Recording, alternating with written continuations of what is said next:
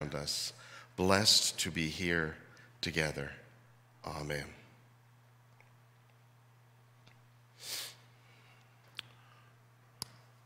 I'd like to invite the children, anyone who's feeling a little childlike this morning, to come and join me at the front.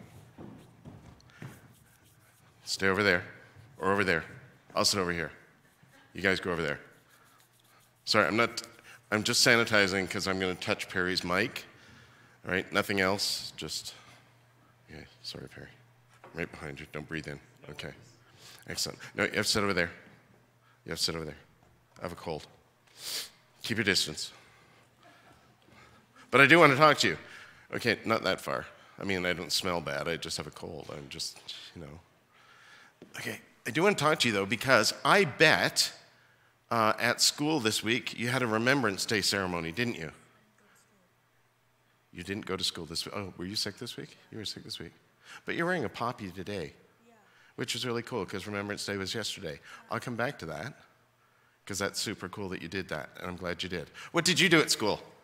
for Remembrance Day? What did you do? We had to go to we had to go to the Big gym and have the ceremony. And what happened in the ceremony? We learned about the soldiers who have fallen in war. Excellent. Did you by any chance hear someone read or say or sing in Flanders Fields? Yes. Excellent. Did you do something like that at school too? Did you, anything else different about yours? Or do you guys go to the same school? We go to different schools. I did do the Flanders Fields thing. You did it? If only were you, you were close enough to be heard on the mic. Come on, you can do it. I did do the Flanders Fields thing. I so you were the one who read it? The entire, all 600 people. Excellent. That's awesome. That's awesome. Do you know who wrote that? John McCrae, right? Who was a Canadian.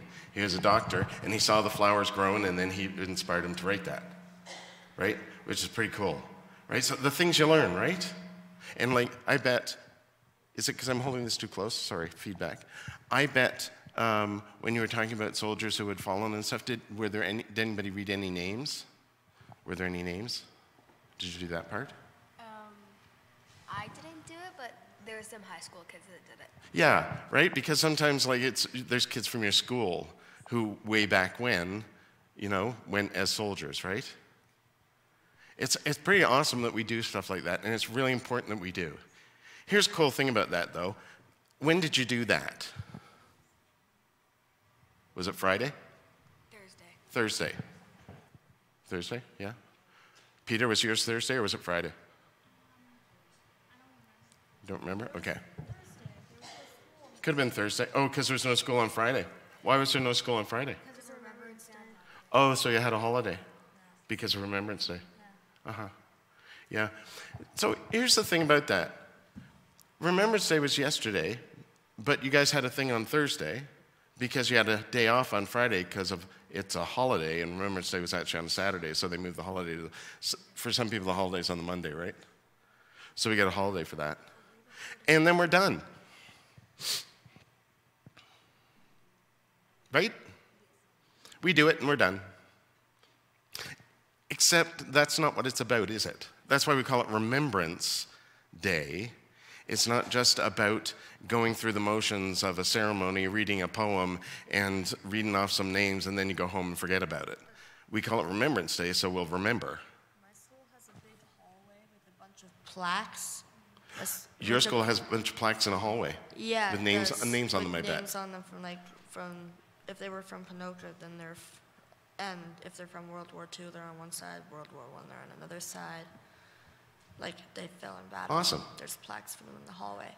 Do you walk by those every day? Yeah, my classroom is in the hallway. Do you sometimes stop and read them? Yeah. Excellent. That's awesome. I knew you were going to say yes. I had no hes- I actually was 100% confident he was going to say yes. Because I think that's just that's really cool because it's important that we remember that Remembrance Day isn't one day.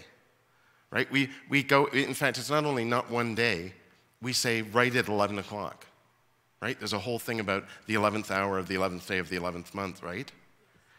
And sometimes I think we do that and then we, we go through all the motions of doing that, and then we forget about why we did that.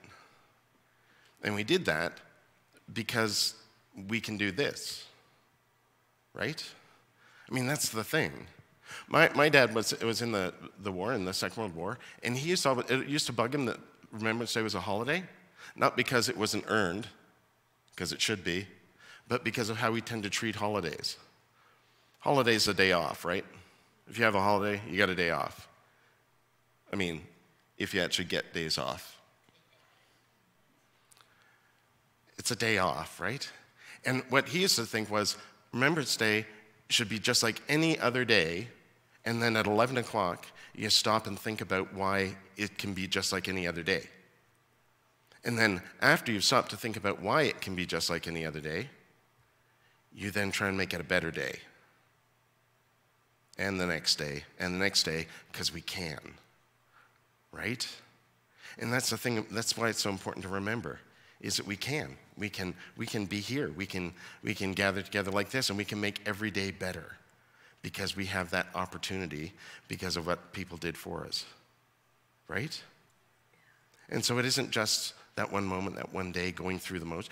Jesus used to talk about this all the time, right? He was always talking about it's, it's not about going through the motions of like the rituals or even going to, well, he would have said go to temple, but like going to church and going through all that. It's about remembering when you leave from that so that you remember to take what you learned and what you remember into the rest of your day and in the next day and the next day and the next day, right? It's what's at the heart of it, the meaning of it, not just the ceremony of doing it. And so I think it's really cool. I notice there's a few people who are still wearing their poppies, which is awesome. Um, I, I am not, be, I'll tell you why. because I, I know a guy from the Legion in Mirror, he, he's dead now, but he used to always talk about um, how uh, you wear it and then at, after the ceremony, in the 11th hour, you take it off and you put it down because it was, Nettie was talking about it this morning. It's a sign of a fallen soldier, right? And that's why people have started putting them, if you watch the ceremony from Ottawa, people have started putting them on the tomb of the unknown soldier. Um, and, and what's cool about that, too, is people have different ways of seeing that. But they're all ways in which we carry it forward right? So the people who are still wearing them, they're still carrying that forward. The people who put them down, that remembrance carries it forward. And we can learn from that. And we can make every day better, right? Yeah. And that's what you're going to do today, right? Yeah. Awesome. That's excellent. So, uh, In Flanders Fields is a really cool poem. And um, there's, uh, Pat Mayberry wrote a song that uses, uh, she uses, I think, the first four lines of the poem and then what, it's, what the poem's about is the rest of the song. So, can you recite the whole poem from memory, Peter? Yes. Pass Peter the microphone. In Flanders fields the poppies blow between the crosses row by row that mark their place, and in the sky the larks, still bravely singing, fly scarce, heard amid the guns below. We are the dead, short days ago, we live, we lit, feel dawn, saw sunsets glow, loved and were loved, and now we lie in Flanders fields. Take up our quarrel with our foe, to you who failing hands we throw. The torch be yours to hold it high, if ye break faith with us who die. We shall not sleep, though poppies grow in Flanders fields.